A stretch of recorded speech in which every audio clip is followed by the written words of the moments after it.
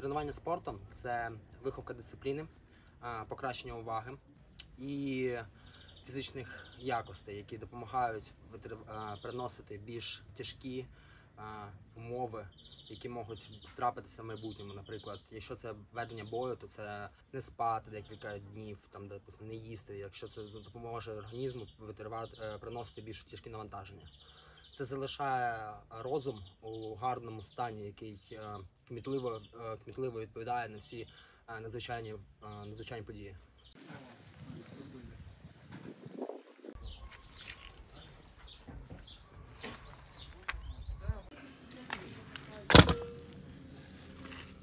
Коли ми приїхали на це місто, е, на цьому місці дуже багато було зашкодженого, трава росла, е, нічого не було. Ми поїхали, знайшли частину бруса для того, щоб створити перекладину для підтягування. Ну І взагалі прибралися трішки в цьому місці.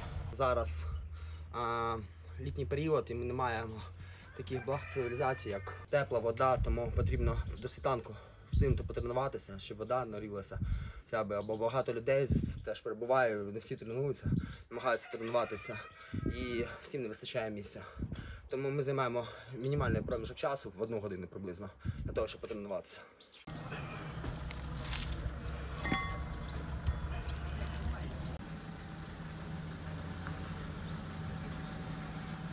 Щоденне тренування обов'язково входить це біг.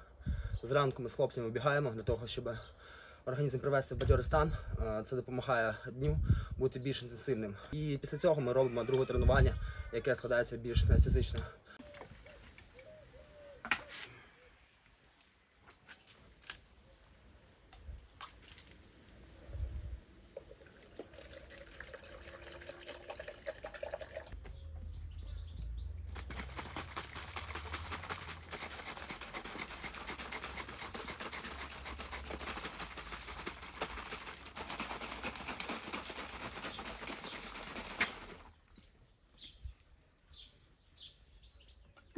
Цьому році ми проходили загальні навчання з е, військовослужбовцями з Канади, е, які прикладали свою е, систему викладання. Ми проходили базові курси з, з ними, і це дало змогу зрозуміти, як ведеться взагалі військова справа не тільки в нашій країні, а й в інших країнах, що дало нам змогу покращити свої фахові навички. Основа військової справи це дисципліна. Якщо я можу відповісти на будь-яке запитання, яке мені задасть старший начальник, і я скажу, що це повинен зробити, я це зроблю, бо це дисциплінує мене як ззовні, так і всередині.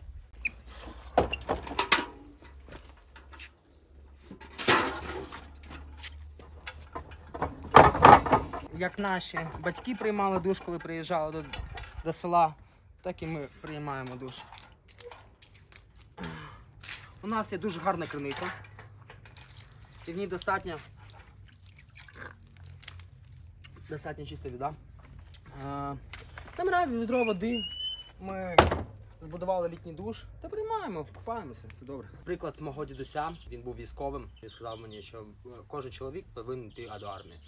І на під час того, що в моїй сім'ї головний був на той час дідусь, то це і зробило мій вибір піти до армії.